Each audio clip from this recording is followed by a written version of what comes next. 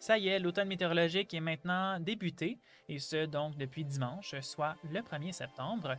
On peut se demander pourquoi est-ce qu'en météo on a ces distinctions par rapport euh, aux saisons.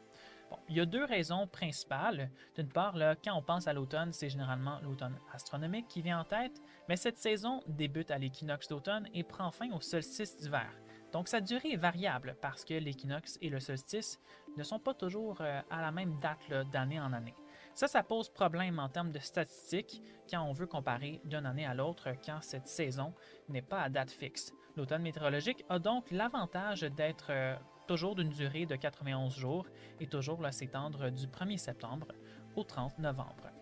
Par contre, il y a aussi une autre raison tout aussi importante. Euh, quand on regarde les saisons météorologiques, c'est généralement celles-là qui sont plus représentatives en termes de température. Si on prend l'exemple de l'été météorologique et qu'on définit cette saison comme étant la plus chaude de l'année, ben, c'est plutôt l'été météorologique qui euh, remplit le mieux cette définition euh, comparativement à l'été astronomique, et ce, à peu près partout au Québec, à l'exception de l'est de la province. Même constat quand on regarde l'hiver, euh, et si on définit cette saison comme la plus froide de l'année, c'est l'hiver météorologique qui est bel et bien, qui remplit bel et bien cette description.